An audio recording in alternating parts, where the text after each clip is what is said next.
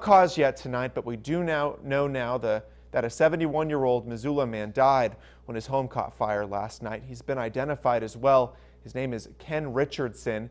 The first responders on scene reported his double wide was fully engulfed when they arrived. It happened here near the intersection of Clements Road and Mount Avenue on the west side of Missoula. That was around 7:30 last night.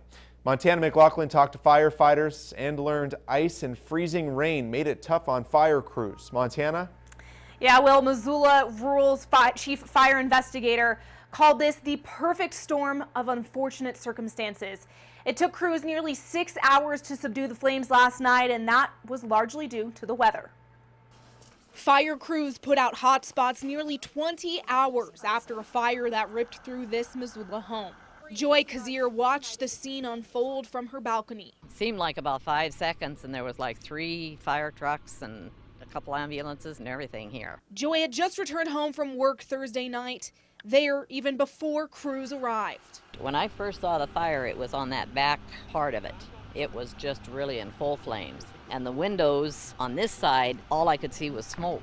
So I knew it had come on into the house. Joy saw firsthand just how tough conditions were for emergency responders. Yes, it was very slick last night. Very slick. We had very tough conditions because of uh, dense fog, pure ice. Um, we're not in a hydrated area, and it was difficult for crews to navigate through the deep snow. Chief Investigator Tim Sales told us three feet of heavy snow and ice on the roof were a challenge. With the icy conditions, hauling hose and trying to get into the structure was a, a great challenge because we had a heavy debris load inside the uh, structure.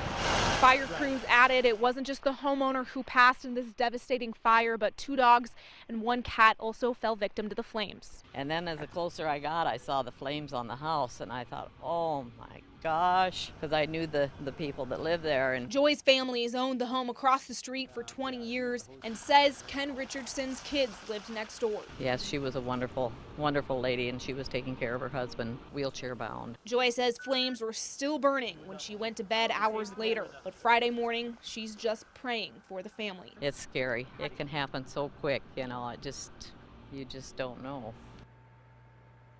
And I can tell you firsthand that the smell out there today was still nauseating.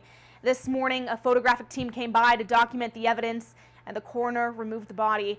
Investigator Sales says he's ruled out smoking as a cause, but the investigation is still ongoing. Live in Missoula, Montana MacLachlan, NBC Montana.